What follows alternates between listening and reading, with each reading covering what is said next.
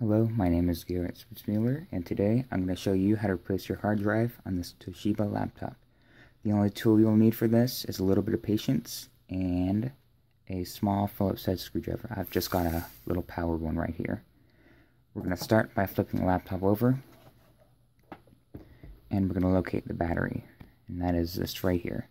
So if you haven't already, slide this lock to the out position, and on the other side, pull this one out, but this one you have to hold. And then using your other hand, you can just slide the battery out. Um, put this in a spot where it won't be damaged. Now we're going to slide up to the top here. We'll locate this panel.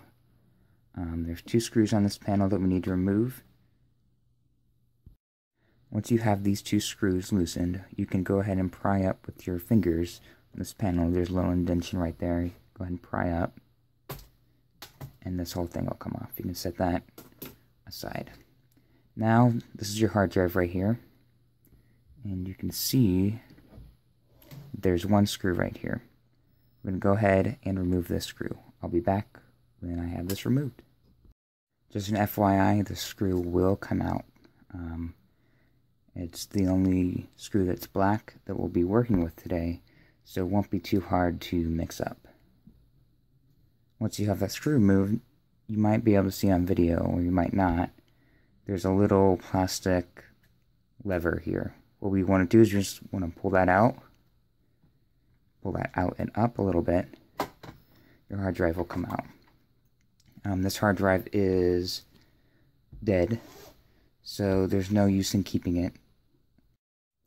Now that you've got your hard drive out, we can remove the two mounting screws. Um, these are the only two silver screws that we'll be working with today, and they are the same. So you don't need, you can't mix these up. Another heads up, these screws will come out. Now that you have the screws removed, we can go ahead and lift up and remove this mount. Now we can grab our replacement hard drive. We're going to replace this with the solid state drive.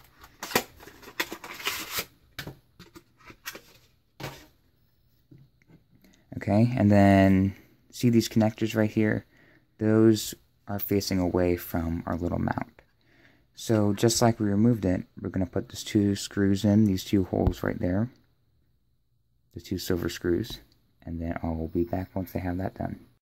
Okay, now that you have those two silver screws reinstalled on your new hard drive or a solid state drive, um, you can go ahead, get my camera in focus here, slide this in. You can see there's two connectors there that this needs to match, match up with.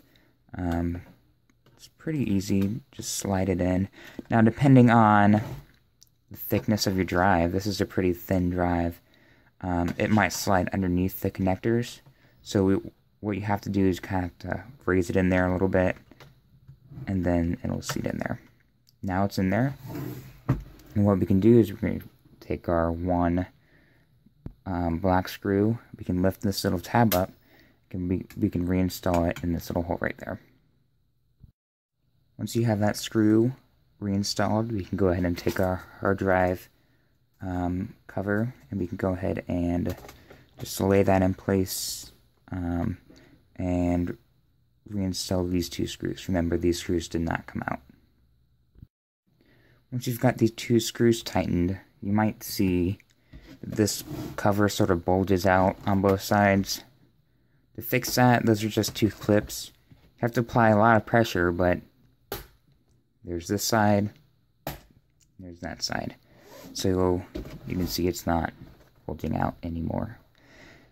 Now what we can do is we can take our battery, you can make sure this one, this number one, is slid all the way out. And this number two, we don't need to uh, pull it out since it'll automatically lock in. Just slide our battery in and lock it in. And now what you're ready to do is open your laptop and go ahead and reinstall Windows. Thank you for watching this video. I hope it really helped you in replacing your dead hard drive for your Toshiba laptop. Thanks.